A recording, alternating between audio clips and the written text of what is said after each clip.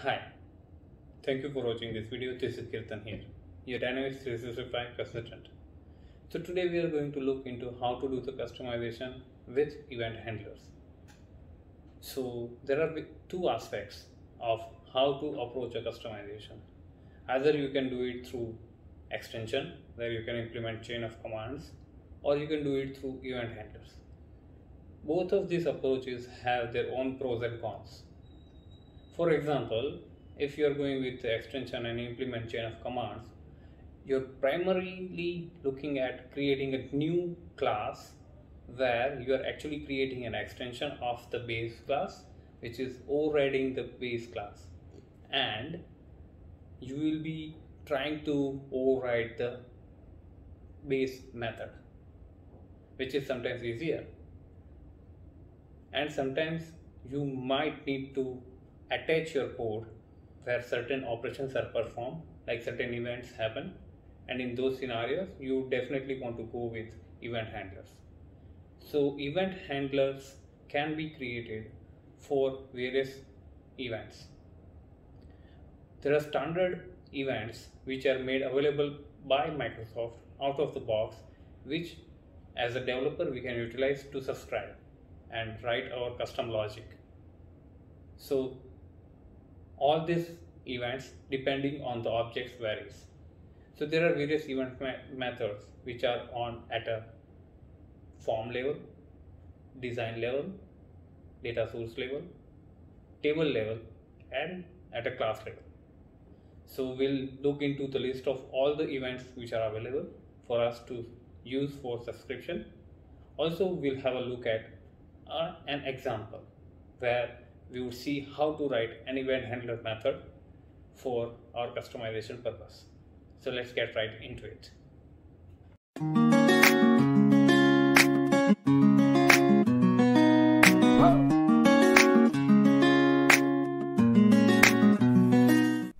So I have listed down the methods which are available for us to use for event subscription.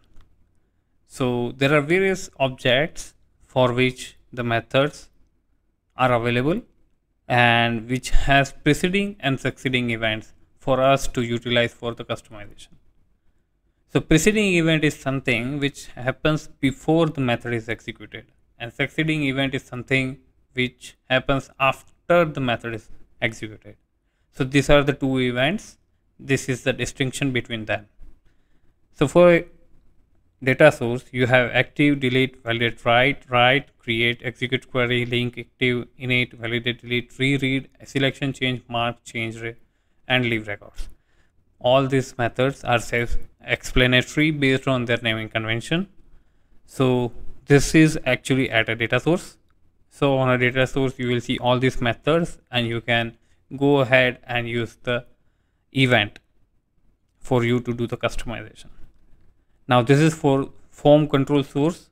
So you have form controls on your GUI so a form control has all these events like modified validate leave enter vote focus click selection change page activated allow page activated expand type change and dialog, dialog closed. So these are all again self-explanatory based on the naming convention and we can utilize preceding and succeeding event based on our scenario where you, we would like to do our customization. So you need to figure out that on which event you want to trigger your custom code. For example, if you want to trigger something before a button is clicked, it's not possible. But if you want to do something after the button is clicked, that's possible. Similarly, if you are leaving a control and you want to do some sort of validation, that's possible. Even after losing a focus, you can do that. So based on the events, you can find out what type of customization and what type of modification I can do with all, all these objects and with the events. Next one is form object methods. So form is our object where we have multiple methods and these are the methods where we have preceding and succeeding events for us to write event handler. So we have init, close, run, activate, self-explanatory again based on the naming convention. Next one is table object methods. So we have tables. These are the objects which has multiple methods where we can utilize our event for us to write our custom logic. So for example, validate write is a standard method which comes with all the tables. Most of the tables you will see validate write method is already implemented. So most so if you want to do some sort of customization after adding a customized field, you might be going ahead with the extension of writing a table extension in this scenario where you will override or do the chain of command for your validate write. Similarly, you can write same logic in validating write or validated write. In those methods, you can write your custom logic for validating your field values. Similarly, there are various methods for us to utilize for preceding and succeeding event for our customization at a table level methods. So now we'll get into an example of how to write event handler in our Dynamics 365 F&O. So for our example, I'm going to add a class which would be my event handler class. So I'm going to name it as demo. It is a standard practice to have event handler in the naming convention for the event handler class. So it is easy to identify that okay this class is referring to event handler for so and so object. For example, I'll be I'm actually writing a demo so I'm writing demo event handler but for uh, naming convention I can put it as demo cust cust table form event handler similarly if you have a data source you can write cust table form data source event handler. If you have a table you can write cust table event handler. So you can bifurcate easily that okay this class is referring to what sort of customization. So I have done the naming. I'll add it to my project. So now the class is ready. Now I have to write my event handler method in this. So it's quite easy to get the skeleton of the uh, event handler. You just need to go to cust table form. So I'll go to my standard cust table.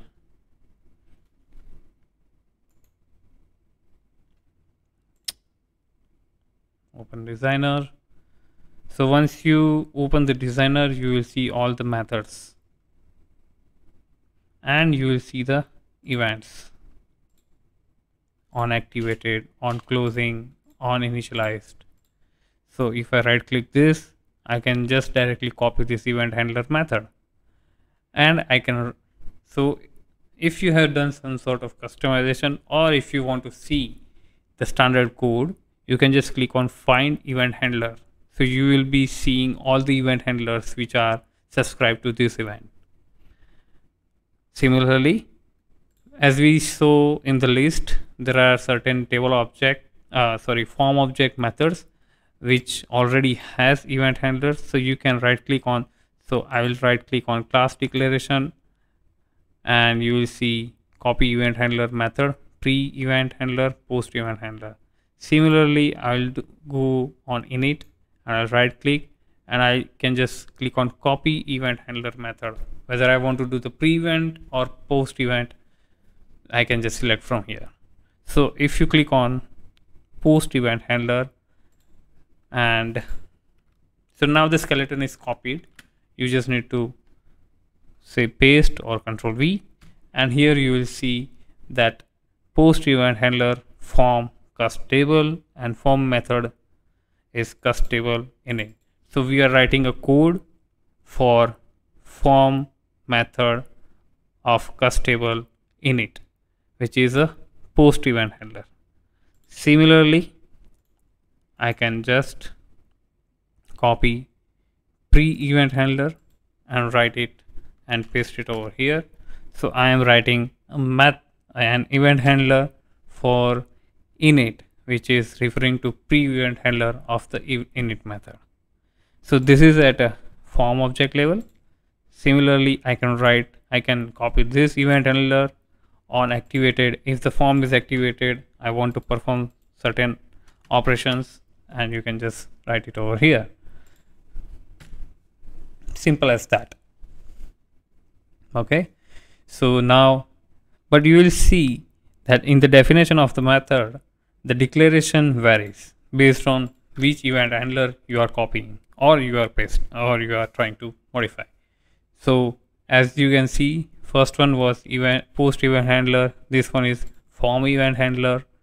So and also you will see form and form event type. So these are form event type and these are handlers for the methods. So that's the difference. And you can make out from the definition. Now I can go to table data source. And at the data source level also you can see that I have init I can sorry you can go to events and on init I can just copy and copy event handler and I can just paste the event handler method. So here also you will see that my event handler definition is form data source event handler form data source str which is specifying which is the data source I am using on which form and which event type I am trying to subscribe. Now we can go to a control. So I'll go to tab and tab has events. I can go to so let's go to tab and I want to go to this uh, button. And on the button also you can see on clicked and I can just copy event handler and just paste it over here. So you can see that we have button event handler form control event handler now. So these are various types of events. You can do it for a form or you can do it on a table or you can do it on a data source and you can do it on a form control. Now similarly if I want to go to a class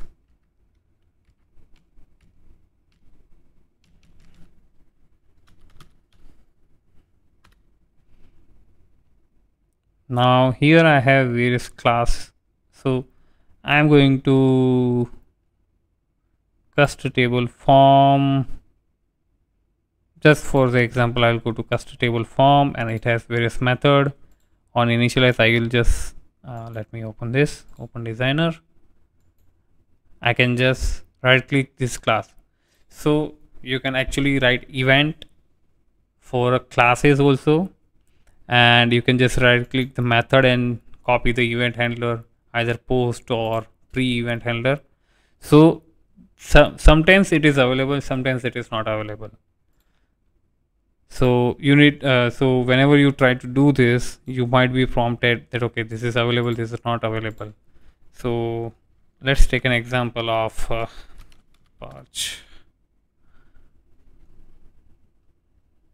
form Purch agreement form method create okay let me see if any method is available for us to subscribe. So I'll create copy event handler post. Yeah so this is available for my subscription. So I can just put it over here and here you can see the post event handler for class and this method and method str is available. So you can use this eventing for your customization at a class method events also. So all this customization and i have created a single repository. So normal normally if you are working on a project where you need to do a customization on a on an object which has table form and related classes and SSRS reports. So normally you can you will be creating separate separate classes for table form and uh, table form and uh, classes. You will not be writing a same single class for it. This is just for the example. I have written like this. Fact my this is my data source. Now my sender is ds. So sender dot form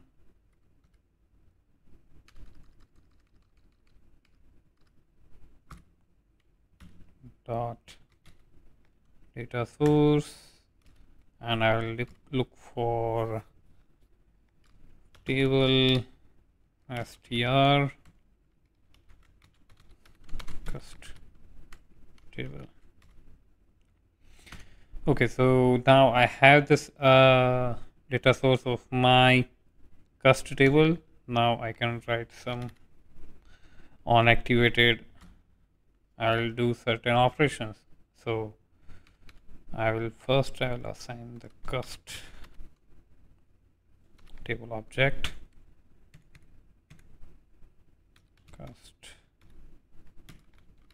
table. Cust table equals to ds dot cursor so I have the current record. And after that if cust table dot account number equals equals to so and so so i'm just writing test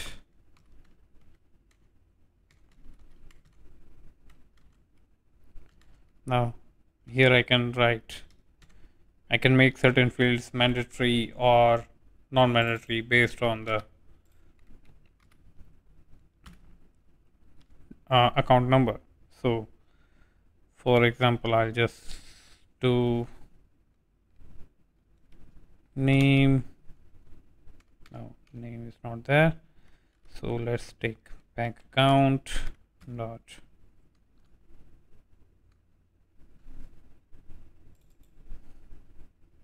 bank account equals to if the test is there bank account equals to ADCV so this is just a customization this is not the real-time scenario but you might come across a scenario where you will be modifying and uh, accessing these methods for your customization so i hope this helps you in your customization and uh, it will help you in your journey for X++.